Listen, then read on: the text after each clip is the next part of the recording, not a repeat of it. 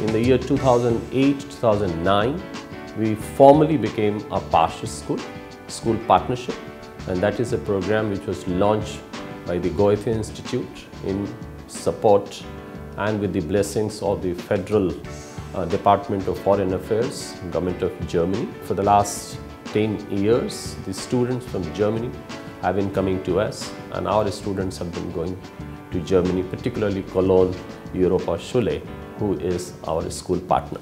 This journey is such a powerful story of relation building, such a powerful story of learning a new language.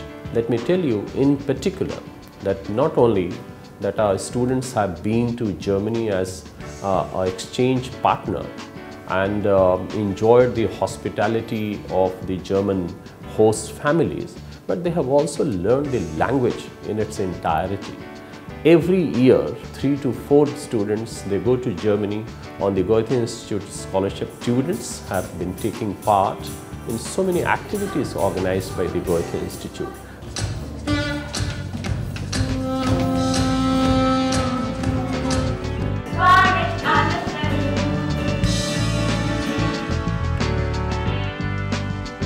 Children come to our school and become a part of our school, they, they, there is no difference. We can't identify when they are in classrooms that whether they are children those who have come from a German school or they are our own children.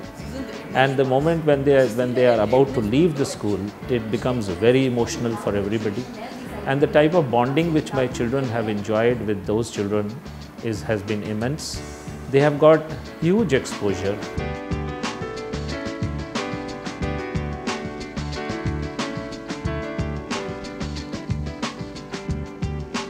Three of our teachers have been to Germany.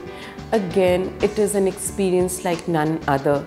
It is one thing to learn language from the books, from teachers, but when you go and stay with the native speakers of the language, then that learning gets uh, gets refined. You learn to speak as the native speaker of a language, and if you can speak like them, that is the benchmark of excellence, and that is how teachers have benefited.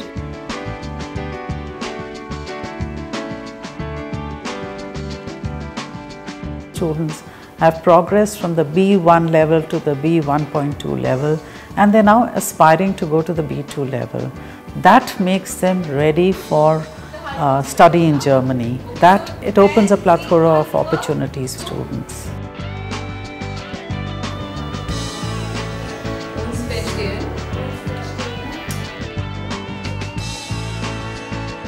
We usually attend the South Asian Conference where there are principals from the South Asian countries. So we get to meet them, we exchange pedagogical practices, teaching strategies, and uh, we, we learn, learn a lot about how they um, uh, program their learning in their school so that we can take away something from there and give them something from our system of education.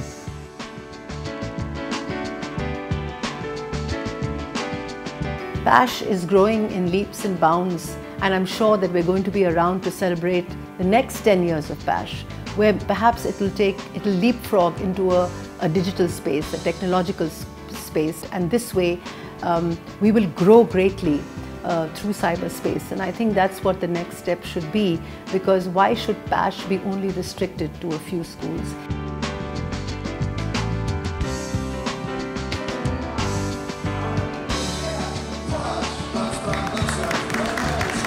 Pasch. Danke für die tollen Gelegenheiten.